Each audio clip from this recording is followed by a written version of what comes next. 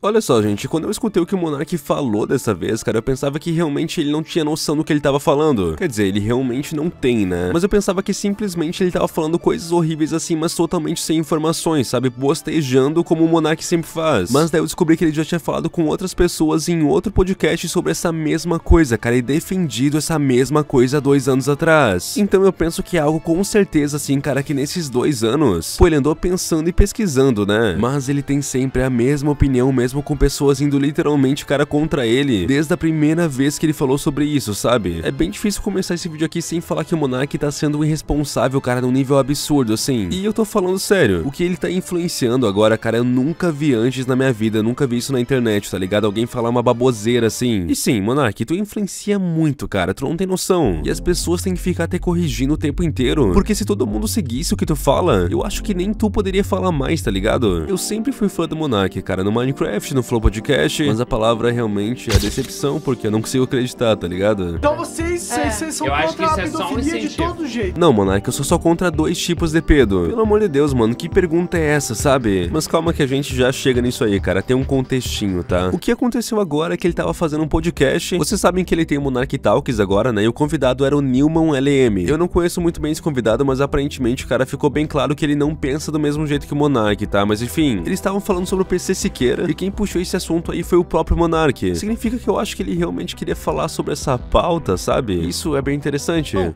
parecia que tipo, foi a primeira vez que ele sentiu alguma coisa que poderia ser considerado isso, entendeu? Até no vazamento, tá ligado? E eu acho que, tipo, um pensamento. Se ele nunca fez algo realmente físico com alguma criança, eu não acho que ele deveria ser considerado um criminoso, pelo menos. Então veio a pergunta. Você acha que um sujeito que tem pornografia infantil é um criminoso? Que tem pornografia infantil? É. Aí é uma questão complicada. É complicada. Pra mim é.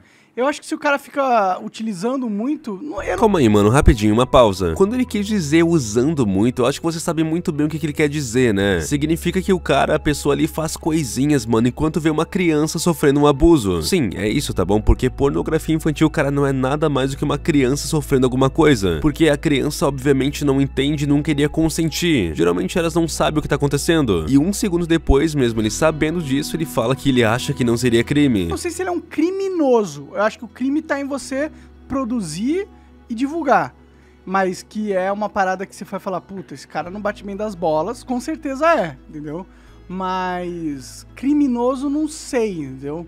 Assim, primeiramente, quando ele falou isso aqui, cara, eu achei que ele não tinha conhecimento sobre, sei lá, cara, as leis aqui do Brasil referente a isso, sabe? Tipo, criminoso, mano, eu não sei se essa pessoa é porque eu não conheço as leis. Eu achei que ele tava se referindo a isso. Beleza, aí realmente é uma coisa, tá ligado? Mas não, não é isso que ele tá falando. Ele tá falando aparentemente que ele não considera crime. Mas sim, o capitão óbvio aqui, mano, vai falar que é crime porque se vocês não sabem adquirir, possuir ou armazenar material que contenha qualquer forma de registro de sexo ou pornografia envolvendo vocês estão ligados, mano, é crime. Tu ainda pode ficar em reclusão de 1 a 4 anos e ser multado. O fato dele não considerar um crime horrível desses um crime, eu não sei, talvez diga alguma coisa sobre ele, mas vamos deixar ele falar mais. Eu não sei.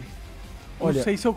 Tipo, porque, ó, um cara que é pedófilo, uh, o que, por que, que eu gostaria de prender ele? Se ele estivesse ameaçando outras crianças. A gente realmente precisa entender, cara, que uma pessoa que fica vendo coisas de criança e adorando tudo isso, cara, e se viciando nisso, vocês têm que entender, de verdade mesmo, que isso aí é só o primeiro passo para algo maior, tá bom? Quase como se essa pessoa estivesse treinando. É sinistro, cara, é a realidade ainda, tá ligado? Eu vou perguntar para vocês uma coisa do jeito mais horrível possível ainda, mas é assim que a gente compreende a cabeça dessas pessoas que cometem esses crimes e que são doentes. Me fala aí, cara, me fala aí, Monark também. Se tu fica assistindo receita, cara, na internet de como fazer tal comida, me fala aí, tu assiste a receita, cara, simplesmente por assistir? Ou tu tem o interesse de cozinhar e algum dia tu vai fazer aquela receita? Eu acho que a resposta é muito clara, né, mano? Ninguém é bobo. É só tu adaptar essa resposta aí, cara, pra mente desgraçada de um cara que fica vendo esse tipo de coisa. Se a gente vê o comercial, cara, de um Big Mac e fica salivando, tá ligado? E ainda, mano, vai lá e compra. Por que que esse cara não faria a mesma coisa do jeito doente dele? É a coisa mais básica, cara. Sim, essa pessoa aí,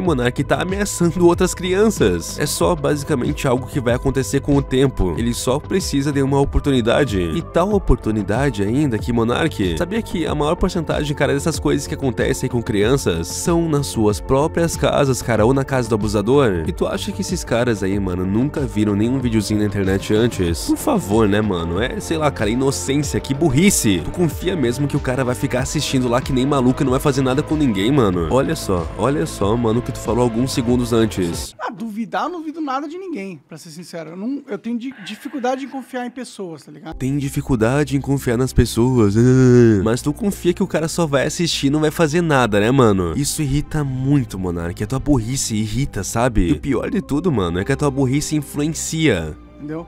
Se ele tá assistindo uma parada, é uma merda, é uma atitude de bosta do caralho. É bem esquisito. Eu não seria amigo dessa pessoa, mas eu não sei se ela deveria ser presa, entendeu? De verdade, assim, porque é o, o crime de verdade é você expor uma criança, entendeu? Ou você abusar de uma criança. Esse é o crime, de verdade, na minha opinião.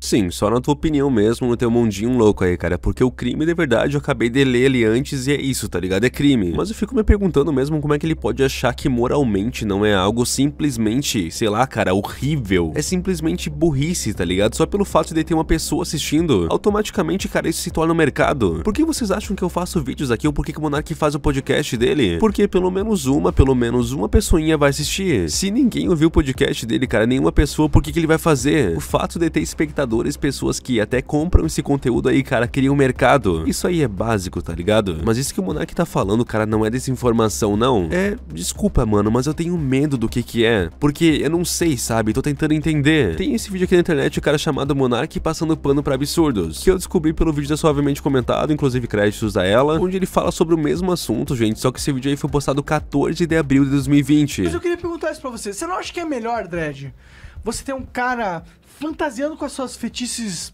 talvez, pedófilos, de certa forma, na internet do que pondo em prática na Mas Eu acho, eu tenho eu acho que isso é o começo. É só o começo, exatamente. O cara vai um dia praticar. Você é acha? tipo aquele É. cara que mata só cachorro, mas um dia ele, ele quer matar, matar gente. gente. O Monark falou que entendeu ali. E vendo esse vídeo aí, cara, eu realmente presumia que ele tava tentando entender isso pela primeira vez, sabe? Mas aí sempre continua a insistência. Sabe? Então vocês, É. vocês, vocês são Eu contra a é só um pedofilia de todo jeito. Não, qualquer tô, tô jeito, total. velho. Essa pergunta aqui é ridícula, mano. Eu não sei. Interpretem do jeito que vocês quiserem aí. Inclusive, cara, todos os links de todos os vídeos que eu botar aqui na tela vão estar na descrição também pra ninguém falar que eu tirei de contexto, tá ligado? Vejam com seus próprios olhos também, é um absurdo. Basicamente, o tempo inteiro que as duas pessoas estavam falando ali com ele, inclusive são pessoas do ramo pornográfico, então eu acho que entendem um pouquinho do comportamento do indivíduo que assiste, tá ligado? As duas pessoas estavam falando o tempo inteiro, Monark, não tem alívio pra esse tipo de coisa, cara. É uma introdução a uma coisa que é inevitável que vai acontecer se não tiver um tratamento. E é isso que tem que ser feito, cara, tratamento. Não tem que encontrar uma válvula de que nem o Monark quer. O próprio Igor falou isso ali na hora, mano, e depois o Jean falou ainda que o Monark tava passando pano pra pedófilo. Válvula de escape, tá ligado? Caralho, por que não pode só se tratar? Ele pode. Não, eu não tô passando. Não, ele tá tentando. E pra ser sincero, mano, o cara perguntou se aquele era um lance do Monark, sabe? E cada expressão que o Monark fazia ali, mano, de medo, tá ligado? Eu acho que a gente teria que chamar o metaforando mesmo. Que que é isso aqui, Monark? Um shrug bilateral com micro expressão de medo? Eu tô brincando, eu não tô acusando o Monark de ser um doente aqui. Mas é realmente curioso que depois de dois anos, cara, e com certeza depois dele pesquisar bastante sobre isso, e pessoas argumentarem contra ele, ele continuar com os mesmos pensamentos, sabe? É realmente algo que eu não consigo entender. E o que o Monark não entende também é o quanto que ele influencia. Ele acha que ele ganha horrores de dinheiro e que esse dinheiro aí vem do além, sabe? Não, não vem do além, cara. É porque tu é influenciador e a marca aí que tu trabalha paga pra te influenciar pessoas aí até ela. Coisa que, mano, se tem algumas pessoas que te acompanham e já tendem aí pra esse lado doente, podem pensar que é a coisa mais normal do mundo e continuarem nesse mundo, porque ninguém vai estar tá repreendendo elas. Se o influenciador, cara, que eu assisto ali fala que não é errado, bom, ele deve ter razão, né? Ele tem razão sobre tudo. Não é errado, eu vou continuar. Daí ele continua, cara, vai continuando. Até acontecer algo que abala a vida de uma criança um ano pra sempre. Isso falando pouco, sabe? E por quê, mano? Só porque o Monark normalizou assistir pornografia infantil. Na moral, Monark, todos esses anos na internet, cara, eu acho mesmo que tu jogou no lixo. Eu sempre gostei de ti, mano, sério, sempre mesmo, mas não tem como, sabe? Tu decepciona, mano, as pessoas que já acreditaram em ti, irmão. Acorda pra realidade. O pior mesmo é que tu nunca admite de fato, cara, que tu errou em alguma coisa, sabe? E depois tu twitta, cara, perguntando como que a polícia sabe seu conteúdo criminoso sem ter visto nada dele. Primeiro que, cara, não configura crime a posse ou guarda do material com finalidade de comunicar às autoridades, etc, etc. É exatamente dizer que quando a polícia pega uma tonelada de crack, tem que prender a polícia por estar tá usando porte de droga, tá ligado? Para de ser orgulhoso, mano. Ninguém quer te cancelar. Querem que tu pare de falar merda na internet, mano. Estressa, tá ligado? Porque tu é burro. Mas já que tu luta tanto pela liberdade de expressão, mano, aqui foi só eu, tá bom? Com a minha liberdade de expressão. Que chato, mano, meu Deus. Deixa tua liberdade nos comentários, gente, por favor. Se trata, mano. Tchau.